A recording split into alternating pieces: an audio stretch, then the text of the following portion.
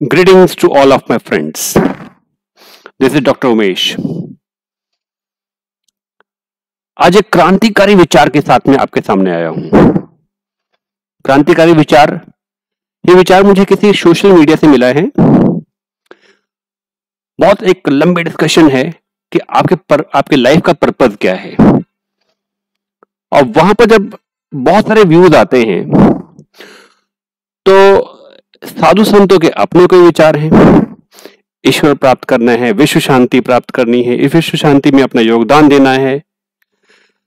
राजनीतिक लोगों का अपना विचार है, दार्शनिकों का अपना विचार है।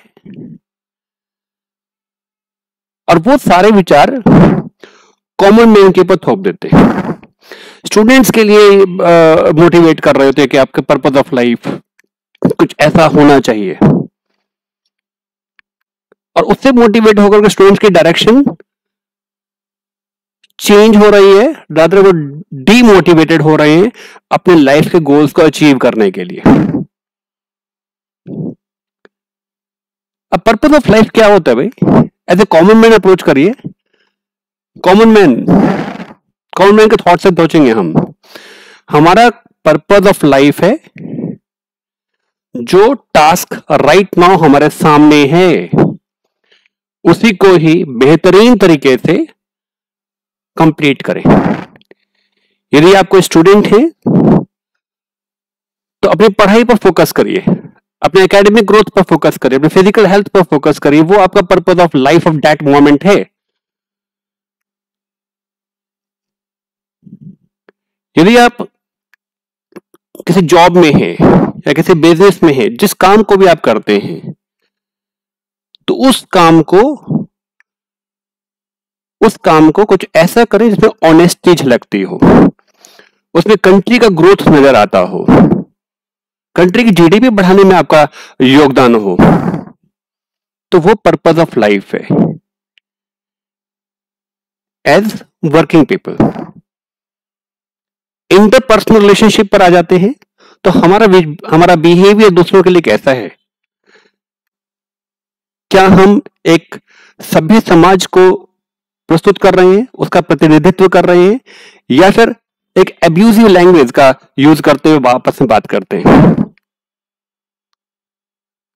तो पर्पज को आइडेंटिफाई वही हो जाता है। और उसी समय पता चलता है कि मैं ये सही कर रहा हूँ या नहीं कर रहा हूँ।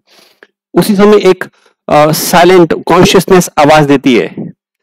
कि this is not purpose of a life और this is your purpose of life you are happy तो पर्पज ऑफ़ लाइफ मोमेंटली होता है, उसी मोमेंट को पूरी तरह से जिए, अच्छे से जिए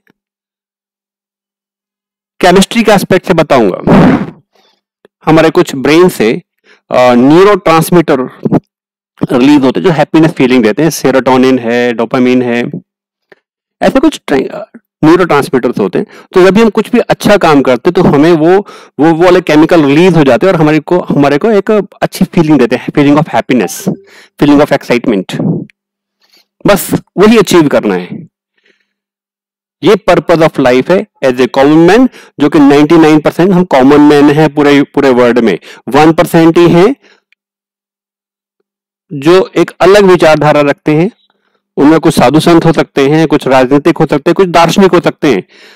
उनकी विचारधारा से हमारी ज़िंदगी नहीं चलेगी। विचार करिए।